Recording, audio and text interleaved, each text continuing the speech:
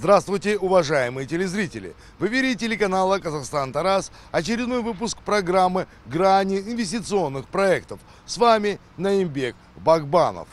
И хотя сейчас на дворе уже поздняя осень, сейчас в Москве стоит достаточно теплая погода. Возможно, это связано с тем, что по инициативе минерально-химической компании «Еврохим» в стенах Московского государственного университета имени Михаила Ломоносова был организован Всемирный форум учителей химии, в котором впервые в истории принимают участие и преподаватели средних школ Таласского и Сарысузского районов.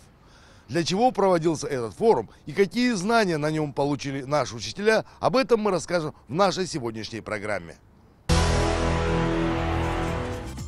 Международный форум учителей химии – это часть комплексной программы компании «Еврохим» по развитию химического образования и подготовки кадров для химической промышленности. Ведь на уровне средней школы формируется интерес детей к профессии химика, закладываются начальные знания по этому предмету. Поэтому Еврохим инвестирует в поддержку школ и подготовку учителей в повышении качества химического образования в регионах присутствия компании. В своем приветственном слове академик Российской Академии Наук, профессор, декан химического факультета МГУ Валерий Лунин поблагодарил стратегического партнера химического факультета МГУ компанию Еврохим за поддержку в организации форума и подчеркнул, что реализация инвестиционного проекта компании Еврохим в Жамбылской области есть пример укрепляющегося сотрудничества между Россией и Казахстаном в рамках Евразийского союза, у истоков создания которого стоял почетный профессор МГУ, президент Республики Казахстан Нурсултан Абишевич Назарбаев. 25 лет назад президент Казахстана, выступая в Московском университете на заседании ученого совета на форуме, сказал, что необходимо организовывать евразийское сотрудничество. И с этого началось. Оно действительно развивается очень успешно и активно. И Нурсултан Абишевич, он постоянно уделяет этому внимание. И это очень дорого, я считаю, для нас, и для нашего народа, и для казахского народа. Тем более, что традиционно наши контакты, наши связи были очень прочными. Поскольку химия – ключевая область знания и экономики и для России, и для Казахстана. Огромное природное богатство Казахстана требует развития химии. А развитие химии невозможно без химического образования. Поэтому я поздравляю всех представителей Казахстана с этой замечательной годовщиной и желаю большого успеха. Ну, Арджамбульский регион – это центр химии Казахстана. И я надеюсь, что он будет также успешно развиваться. Форум первый, который проводит компания «Еврахим» с привлечением э, педагогов из других регионов своей деятельности. И то, что казахские учителя сегодня участвуют, это очень важно. Общение учителей, учителей химии особенно, потому что химия в 10-11 классах всего один час в неделю. Ясно, что мотивация у детей к изучению химии не очень развивается при этом. Но общение учителей, их увлеченность предметом и желание обучить этому детей, это очень важно.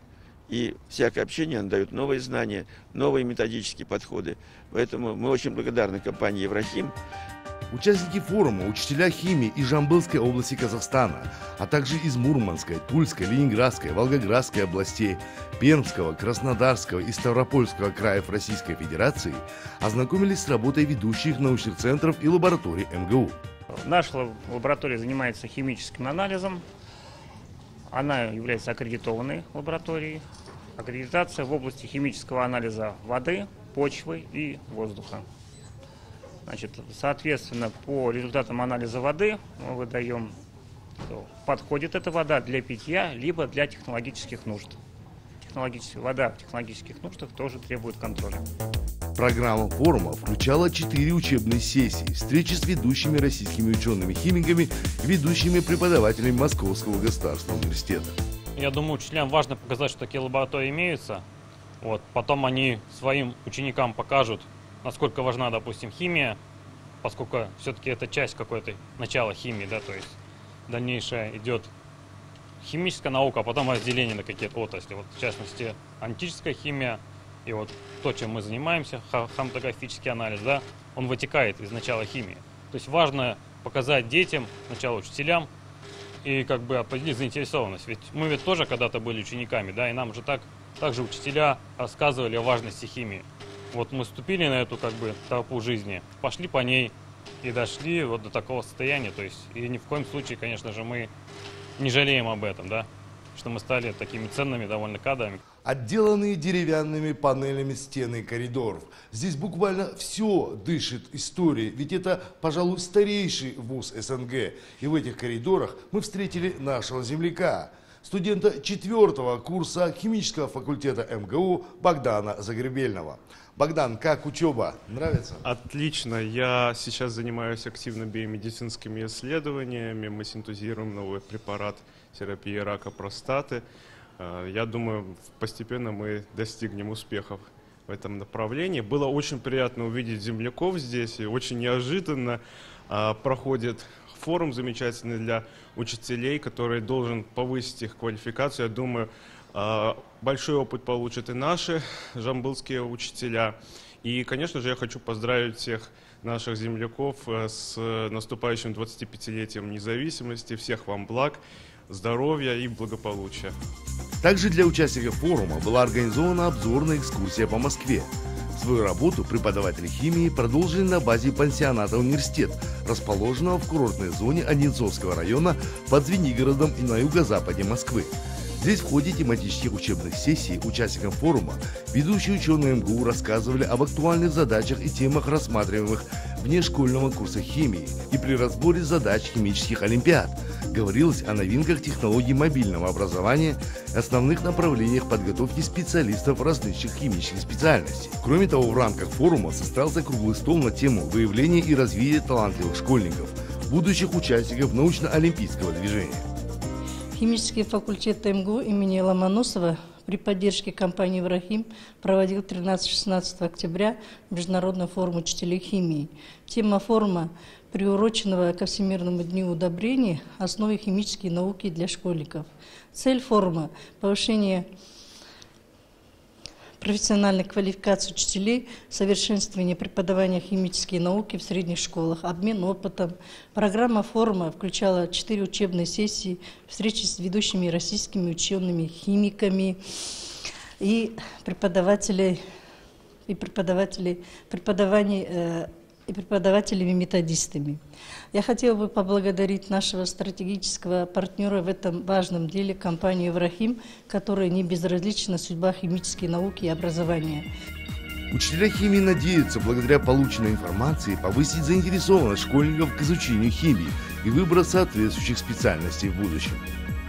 Предприятие Еврахим БМУ оказывает большую поддержку э, школьникам нашего района. Во-первых, э, направляет их на Олимпиады, что очень важно. Вот Олимпиада, которая прошла в этом году весной в Москве, вызвала у них ну, огромное желание изучать химию. Поездка оставила самые незабываемые впечатления. Оказывает помощь школам в оснащении кабинетов. Очень благодарна Еврахиму за ту поддержку, которую он оказывает э, школам города, ну, в частности, в нашей школе и еще в двух школах оборудован кабинет по последнему слову техники, и это очень большое подспорье в нашей работе. Когда учителю горят глаза, когда вот он все может, все хочет, и это требует подготовки. Если компания Еврахим за счет своих финансовых вложений поможет учителю создать вот этот материал, за счет которого он сможет гореть, тогда, конечно, у нас и ученики будут поступать, и компания Еврахим будет иметь достойных работников. У меня впечатлений очень много положительных. А, те ожидания, которые я для себя представляла, ну, не сто процентов, но на 99% они сбылись, поэтому у меня сейчас много идей, с которыми я готова поделиться в своем городе, о которых я готова рассказать, ну и, может быть, что-то даже внедрять.